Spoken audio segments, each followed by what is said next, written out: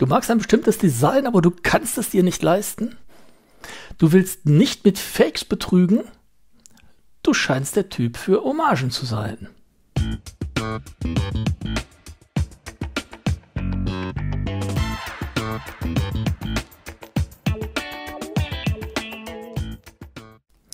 Hallo und willkommen bei Watchmaxes Uhrenvideos. Mein Name ist Axel und ich freue mich, dass du heute reingeklickt hast.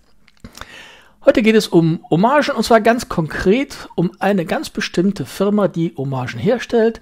Vor 14 Tagen habe ich die Firma schon ganz allgemein vorgestellt. Es ist eine deutsche Firma, natürlich klar, auf meinem Kanal geht es um deutsche Uhrenmarken. Es geht um die relativ junge Marke Mien Munich. Mien Munich baut, und das sagt sie ganz deutlich, Hommageuhren und diese auch in einem Preissegment, die sich die allermeisten leisten können. Das heißt, es wird Wert gelegt auf Qualität, aber auch darauf, dass man sich die Uhren leisten kann.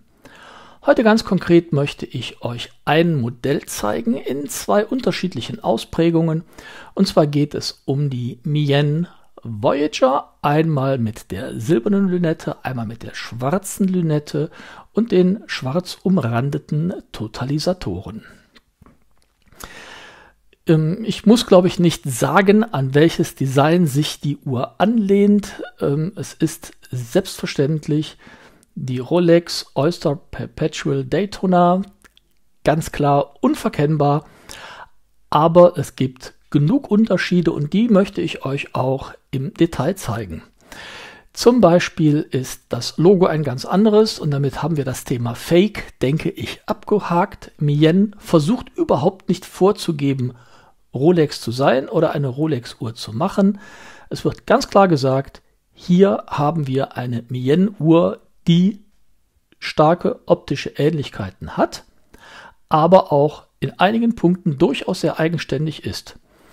Die Schrift auf dem Ziffernblatt ist deutlich reduzierter als beim Original. Die Zeigerform ist eine andere. Die Indizes sind von der Grundform her ähnlich, aber im Detail auch anders ausgeprägt. Ein Markenzeichen von Mien ist der rote Sekundenzeiger, der sich durch alle Uhren zieht, unabhängig davon, ob es sie beim Original gab oder nicht.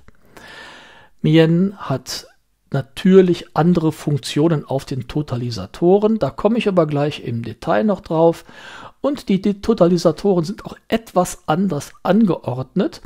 Die beiden Totalisatoren bei 3 und 9 Uhr liegen ziemlich genau auf der Zeigerachse beim originalen Vorbild, wenn man ganz genau hinguckt, liegen die Totalisatoren bei 3 und 9 Uhr ein klein wenig oberhalb der Achse 3,9. Wenn man genau hinguckt, sieht man das. Es ist ein kleiner Unterschied, aber es ist natürlich ein Unterschied. Die Mien ist eine Quarzuhr. Ansonsten könnte man den Preis wahrscheinlich in der Form nicht darstellen.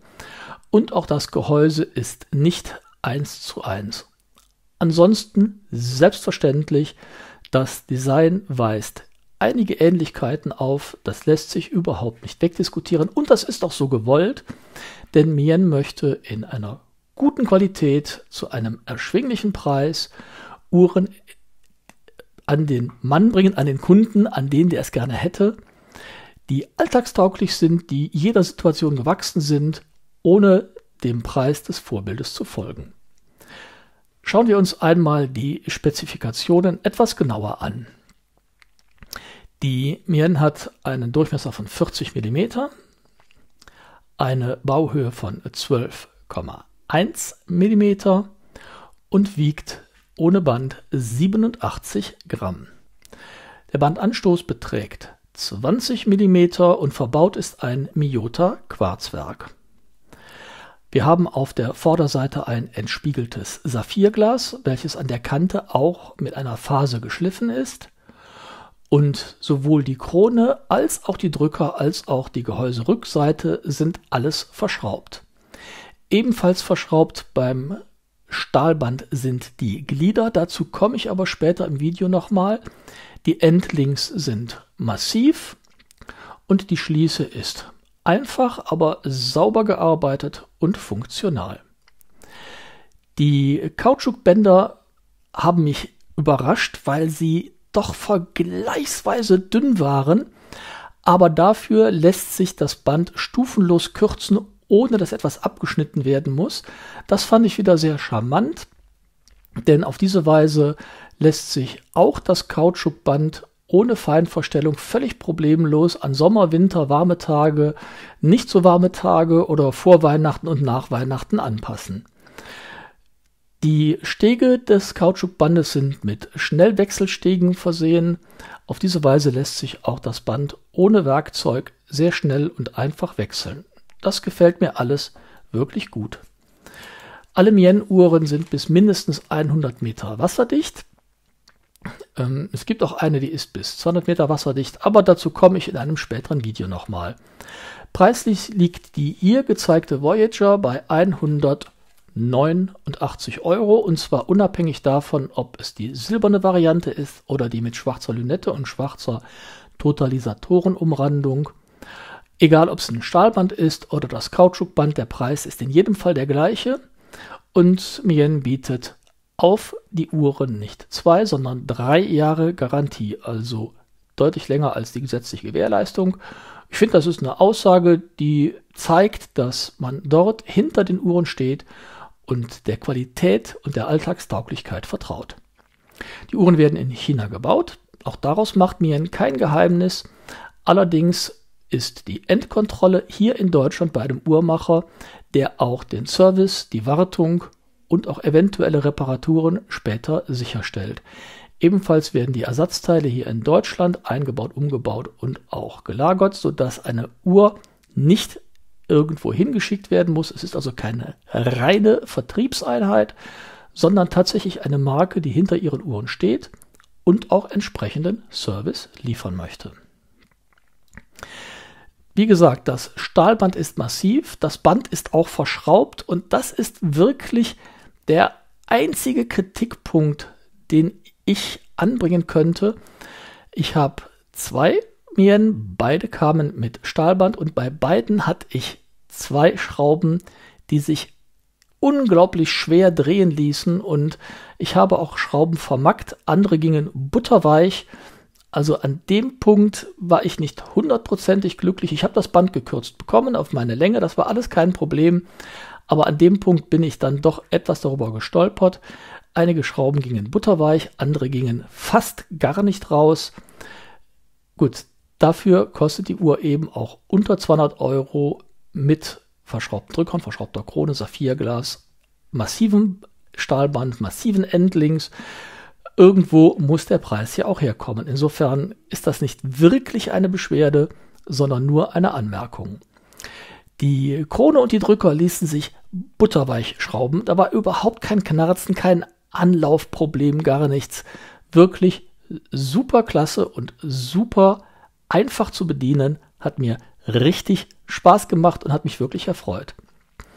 Das Kautschukband, das zeige ich euch ähm, in naher Zukunft nochmal in meinem eine Woche Video, denn ich habe ja selber zwei Mien nicht nur von mir zum Filmen geliehen bekommen, sondern ich habe sie mir auch tatsächlich selber gekauft, beziehungsweise eine gekauft und eine von meiner Frau gestern zum Geburtstag geschenkt bekommen. Insofern kann ich auch ein eine Woche Video machen und dann tatsächlich meine Eindrücke schildern, wie sich die Uhr im Alltag über einen, in Anführungsstrichen, längeren Zeitraum schlägt. Die Uhr ist mit Leuchtmasse versehen, allerdings ist diese nicht so lang anhalten wie bei anderen Uhren. Ich zeige euch hier einmal, wie sie leuchtet, kann aber jetzt schon sagen, dass das Leuchten relativ schnell nachlässt und ich werde in meinem eine Woche Video berichten, ob sie die ganze Nacht durchhält, ob es bei mir ohne Lesebrille funktioniert oder aber ob das dann eventuell auch ein Punkt ist, der mich nicht ganz glücklich gemacht hat. Das kann ich aber jetzt noch nicht hundertprozentig sagen. Ja, das war also mein erstes Video zu Mien, Mien Munich, Mien Hommagen mit zwei Varianten der Voyager. Ich finde die Uhr klasse, sie ist super bequem am Arm, ich finde das Konzept klasse, ich finde den Preis klasse und ich bin auch mit den genannten Abstrichen mit beiden Bändern unterm Strich glücklich. Lasst mich doch gerne wissen, was ihr dazu denkt. Ich bitte nur darum, keine Fake-Diskussionen zu machen, denn das ist es nicht. Es ist eine Hommage, ist auch rechtlich abgesichert. Die dürften machen, was sie machen. Insofern lasst uns das nicht diskutieren, sondern nur über die Uhr sprechen. Mir gefällt sie, ich finde den Preis okay. Wie seht ihr das? Bleibt gesund, erfreut euch an euren Uhren und bis dahin. Tschüss, euer Axel.